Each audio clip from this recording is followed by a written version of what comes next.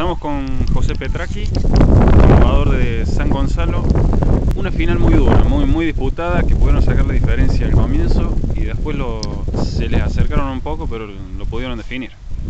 Sí, arrancamos jugando bastante bien y después nos empezamos a complicar las marcas y ellos también se acomodaron. Y al final, bueno, con un par de fútboles y eso nos volvimos a acomodar. Pero sí, muy, muy ajustado. Estuvo muy, buen hablado el partido. Le complicaron el partido al árbitro. Sí, pobre árbitro, la verdad que nos pone una gana bárbara y nosotros por ahí lo tratamos mal. ¿Cuáles fueron las claves para que se hayan llevado, el abierto?